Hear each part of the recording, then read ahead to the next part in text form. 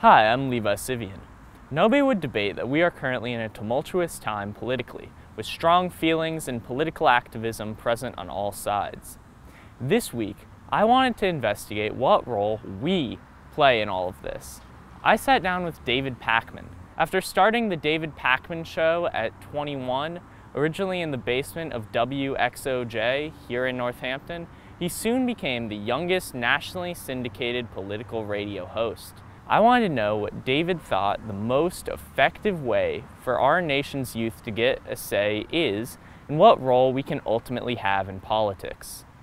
I think it's easy to not participate in politics. Not participating is usually easier than participating. And I think a lot of people don't participate because they don't really understand the way in which their involvement can directly change the circumstances that are around them at the local level, at the state level, at the federal level.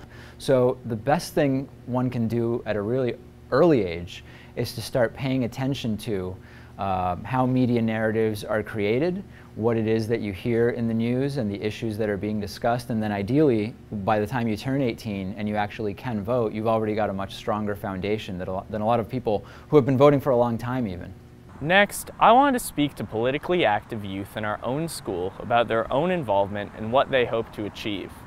I try to stay active politically mostly by keeping myself informed, like reading the news. Um, I like to go to lectures that are offered at Smith College um, and other places around the valley when they're offered because I think it's really important to keep yourself informed and like learn new things about our political climate and ways you can help. I'm part of the Northampton Mayor's Youth Commission, which is a group of youths who um, try to affect change on a small scale in Northampton.